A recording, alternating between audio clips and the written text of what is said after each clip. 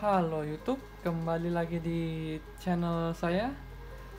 Di video kali ini eh, baru sampaian ya, mau nge-review si WL Toys uh, 144001 eh, skala 1 per 14 nya eh, bugi dari si WL Toys ya. Jadi dia lebih besar dari Vortex yang skala 1 per 18. Nah, di video kali ini saya akan mereview singkat dan eh, membuat uh, video tesnya ya. Nanti rencana saya mau main di skatepark dan tes top uh, speed lah. Walaupun saya tidak punya speed checker ya mungkin kira-kira si Weltos ini mampu menempuh 90 km per jam lah. Itu paling minimal lah. Dengan ya langsung saja kita bahas si elektriknya. Pakai motor uh, OCD 3900 KV. Ini SC-nya uh, Hobby Wing 10 BL60 ya di situ yang kayak di atas ini yang di situ ya 10 BL60 brushless 60 ampere dan untuk baterai saya pakai 3S jadi 3900 kV ini dengan 3S 12,6 volt ya kira-kira hampir 50.000 rpm dan itu sudah cukup untuk uh, di atas 50 mile per hour atau ya di atas 80 lah pastinya di atas 80 dan kebetulan kemarin ya saya main di sini bisa dilihat spurnya botak. Ini kepala sudah kayak ganti baja loh ini. Mungkin kalau untuk spur baja ini tidak cocok untuk uh, main speed ya. Lebih ke main basing. Kalau main speed dia uh, apa entah saya salah setting atau gimana dia botak gini nggak nyampe sehari saya main ya untungnya di sini partnya sudah datang ya yang plastik. Jadi yang plastik ini menurut saya paling enak sih. Dengan suaranya tidak berisik dan kalau untuk main speed dan basing kuat lah. Nah apalagi yang ya semuanya standar sih bannya ini ya ban pakai velg bawaan cuman bannya saya ganti uh, on road. Karena kebanyakan saya main bug ini on road ya jarang off road karena saya belum punya ban yang off roadnya dan ini wings sayapnya saya ganti punya high space per 10 ya high space bugi yang ya high space lah pokoknya. Terus uh, remote pakai ya satu remote untuk 3 RC ya saya semua ini. Pakai Surpass Hobby 6 channel atau sama dengan Dumbo RC 6 channel ya. Terus semuanya standar ya semuanya standar bawaan. Lu bawaan semua baterainya saya pakai 2200 mAh ya ukuran segini lah. Tapi ini versi 2S ya. Ini yang 3S nya lebih tebal saya taruh di sini. Cukup. Ya kita mungkin kita pasang dulu lah ini si spurnya. Check it out. Ya bisa dilihat di sini uh, si gear spur bajanya ya. Botak gini. Nah untuk di gear ini saya ganti versi upgrade ya metal warna uh, kuning dia lebih keras. Ini seperti ini. Ini bawaannya ya.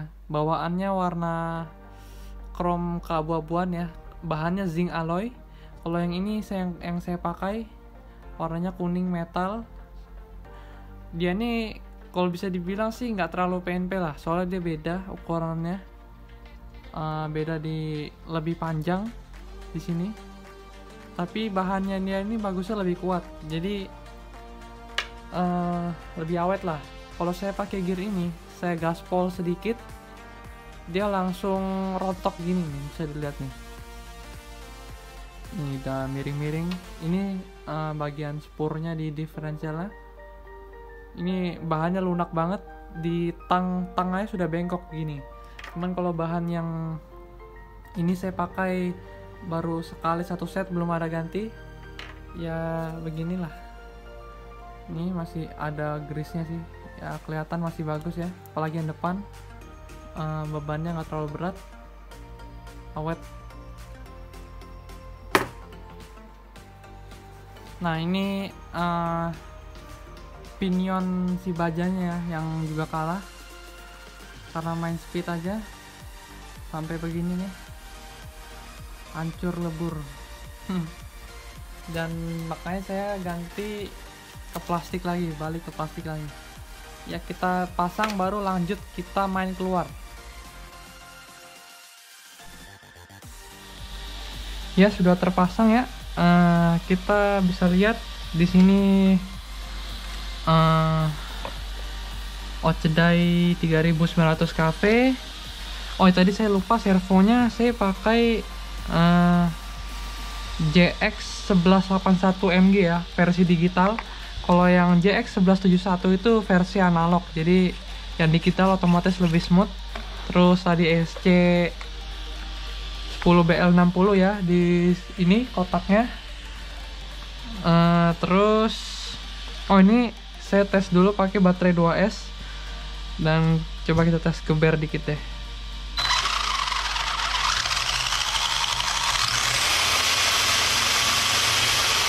WS aja dah galak banget. Nah yang nanya-nanya ini kenapa ada garis-garis begini di ban? Ini tuh e, benang pancing ya. Jadi kalau nggak diginiin bannya bakal ngebalon parah banget pas kencang. Jadi itu yang tidak diinginkan lah kalau main on road. Jadi saya ikat uh, uh, apa sih namanya benang PE lah. Ini benang PE 20 kilo. Jadi dia ngunci bannya agar tidak ngebalon ya. Jadi bisa dilihat ini bannya nggak ngebalon. Ini. Kalau udah kencang banget itu. Itu aja. Oh ya kalau pengalaman saya kalau pakai WL TOS ini ya. Kalau sudah di upgrade brushless begini harus banyak spare gear ya. Ini gearnya banyak banget nih sudah gundul semua.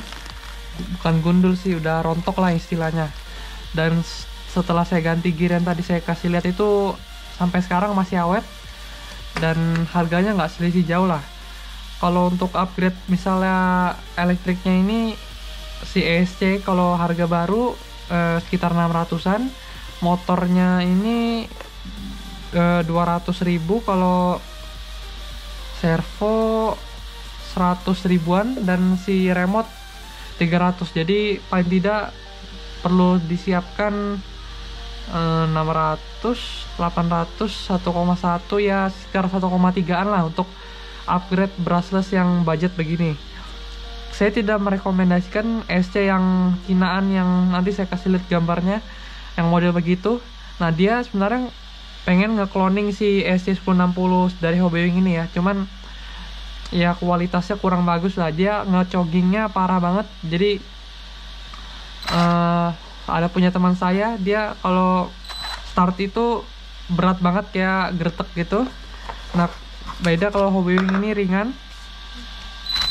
Nih dia coggingnya parah. Nah jadi saya rekomendasikan langsung aja beli Hobywing jangan beli yang lain lah. Minimal Hobywing 10BL60 atau kalau bisa yang 10BL 120 ampere harganya sama cuman dia nggak waterproof. Ya itu aja sih. Kita bisa langsung tes keluar